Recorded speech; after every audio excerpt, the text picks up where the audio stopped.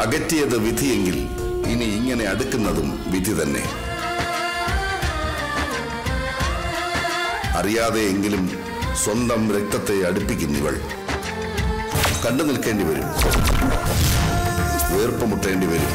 ഇവിടെയൊക്കെ ഇവർക്ക് ഹൃദയം വിതുമ്പുന്ന ആ മുഹൂർത്തങ്ങൾ വരവായി. ചന്ദനമഴ. തിങ്കൾ മുതൽ ശനി വരെ രാത്രി എട്ട് മുപ്പതിന് ഏഷ്യാനെറ്റിലും പിന്നെ എപ്പോഴും ഹോട്ട്സ്റ്റാറിലും.